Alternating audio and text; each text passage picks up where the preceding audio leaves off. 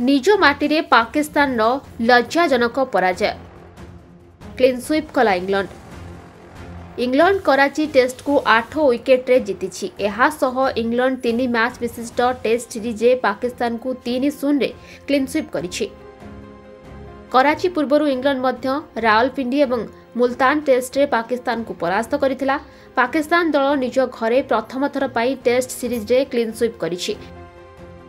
Pakistan toss ଜିତି ପ୍ରଥମେ କରାଚିରେ batting କରିବାକୁ ନିଷ୍ପତ୍ତି ନେଇଥିଲା। ଅଧିନାୟକ ବାବର ଅଜମ ଏବଂ ଆଗା ସଲମାନଙ୍କ ଅର୍ଦ୍ଧଶତକ ଯୋଗୁଁ ପାକିସ୍ତାନ ଦଳ ପ୍ରଥମ ଇନିଂସରେ ତିନିଶହ ଚାରି ରନ୍ ସଂଗ୍ରହ କରିଥିଲା। ଇଂଲଣ୍ଡ ପାଇଁ ଜ୍ୟାକ୍ ଲିଚ୍ ଚାରିଟି ୱିକେଟ୍ ନେଇଥିଲେ। ଏହାର ଜବାବରେ ଇଂଲଣ୍ଡ ପ୍ରଥମ ଇନିଂସରେ ତିନିଶହ ଚଉବନ ରନ୍ ସଂଗ୍ରହ କରିଥିଲା। ଇଂଲଣ୍ଡ ପକ୍ଷରୁ ହାରି ବ୍ରୁକ୍ ଏବଂ ବେନ୍ ଫକ୍ସ ଅର୍ଦ୍ଧଶତକ ହାସଲ କରିଥିଲେ ଏଠାରେ ପାକ୍ ବୋଲର ଅବ୍ରାମ ଅହମ୍ମଦ ନୋମାନ ଅଲି ଚାରି ଚାରି ୱିକେଟ୍ ନେଇଥିଲେ।